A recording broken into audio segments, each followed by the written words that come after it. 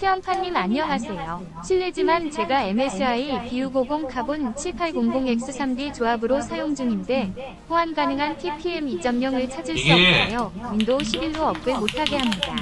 T- 드라이버 TPM 무시할 수 있을 것 최신 같은데 TPM 2.0 활성화를 해도 인식을 못하는데 어떻게 해야 할까요, 유? 루퍼스로 뜨면 그 TPM을 무시할 수 있어요 루퍼스로 뜨면 인터넷이 없어도 무시할 수 있거든요. 그것도 좋은 점이에요. 반드시 루퍼스로 하세요. 자 루퍼스로 하게 되면 좋은 점이 뭐냐면 이- 일단 인터넷을 씹을 수 있어요. 그리고 방금 전에 말씀드린 TPM을 씹을 수 있어요. 그리고 그 각종 광고 관련된 거 체크하는 거 다 씹을 수 있어요. 루퍼스로 하면 그 이점이 되게 많아요. 제가 또 USB 가이드 다시 하나 만들어야겠다 오늘. 자 일단 자 검색을 윈도우즈 11 ISO 검색을 합니다. 해가지고 요걸로 합시다. 다운로드 윈도우 11 디스크 이미지 for 6 어, 64 네, 요거 해서 다운로드.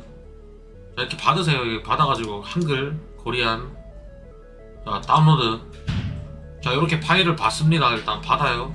받은 다음에 자 좀 전에 말씀드렸던 Rufus를 들어가요 Rufus Rufus 사이트 들어가서 Rufus를 받아요 그냥 최신 버전으로 자 이렇게 해가지고 USB 꽂고 일단 Rufus 하는 거 시- 심플합니다 예, Rufus는 예, 아, ISO 다 받았겠죠 그죠 ISO 넣으시고 아무것도 건드릴 필요 없습니다. 예, 시작.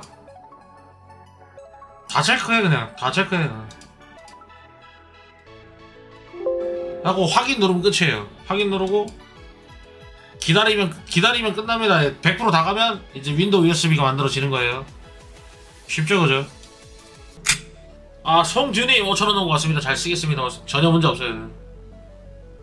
그러니까 TPM 5,000원 발로란트. 같은 경우는 문제될 수도 있어요. 발로란트는 말씀해주신 TPM을 꼭 루퍼스 하라 그러더라고. 한번 시도해보겠습니다.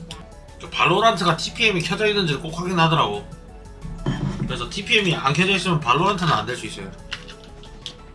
빨갛고 네모난 버튼을 눌러. 파란색 엄지 버튼을 눌러. 제 홈판의 컴퓨터 채널 구독 좋아요. 알림 설정까지